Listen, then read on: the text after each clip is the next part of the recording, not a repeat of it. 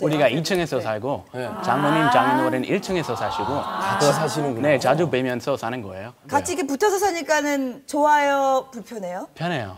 네. 그래서. 그 눈물은 왜 흘려요 지금? 크리스 씨. 눈물이 이렇게 방울방울 있는데 아 지금 여기서 아까 거짓말하면 안 너무. 집중해서 이렇게 나오는 거 같고 진짜 편해요? 솔직히 여기서 거짓말하면 안 됩니다. 아, 크리스 씨 정말 편해요? 불편한 점 있긴 있지만 울면? 울면 지는 거예요. 어떤 점이 좀 생각해? 보겠습니다. 어색하게 웃군요. 웃는군요. 네. 어. 크리스 무슨 일이에요? 저 주부 겸 학생인데요. 학생. 주부세요? 주부 겸 학생 네. 원래 살림 할 생각 전혀 없었다가 네. 결혼하고 나니까 음. 공부 조금 더 하고 싶어서 일단 이렇게 하게 됐어요. 전업 전업 주부시네요. 그럼 전업 주부. 네? 어, 그렇게 말씀하실 수 있겠죠.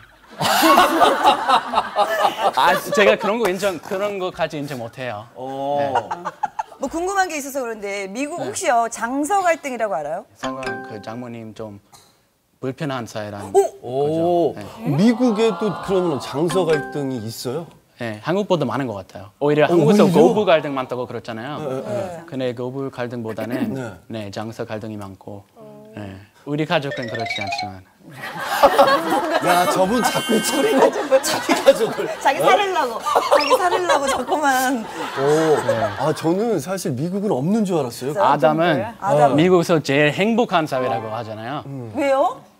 왜냐하면. 그 장모님이 없으니까요. 아 그 정도로 장모에 대한 아니, 스트레스가 있나? 그렇죠, 그 장모가 어때요? 그렇죠. 미국에서 이렇게 뭐 잔소리를 해요? 아니면 참견을 하나요? 잘 안 해요. 한국보다 안 하는 편인 것 같아요. 네, 한국에서 많이 하는 것 같고. 뭐 어쩌라는 거예요? 왜, 왜 한국에서. 장모님이 잔소리 많이 하는 거 어떻게 알았어요, 크리스? 일단 왜 방금- 당황하죠? 방금 한 말을 취소하고요. 제가 같이 네. 발끈하다가 정신을 차려 지금 정신을 좀 차렸어요 지금. 네. 장모님이 그렇게 아니, 무서워요? 아니 하나도 안 무서워요. 잔소리는 좀 하세요? 잔소리 하긴 하죠. 어떤 우리 집에 와서? 살림 왜 이렇게 제, 제대로 하지 못하냐. 그럴 땐 아담이고 싶어요? 아담이 부러워요? 부럽지 않아요? 왜 계속 강요하세요? 아, 되게 궁금하다. 저 집 되게 궁금해. 눈물 아니, 좀 닦아요. 아니 네. 자, 아까 무엇보다 아까 네. 우리 어머니께서 네. 과연 어떻게 어디를 어떻게 성형수술을 하셔서 진짜 수술이 더 이상 뭐 궁금해. 불가능하다 뭐 이렇게까지 얘기가 나온 것 같습니다.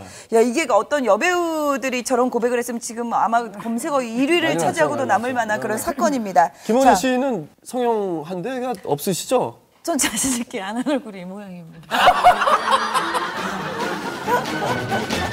맨날 이거 갖고 뭐라 그러는데 사실 그거는 수술할 방법이 없고 주말인데 내가 그냥 서비스로 이렇게 예쁜 마사지 관두셔. 해드려. 왜 간다요?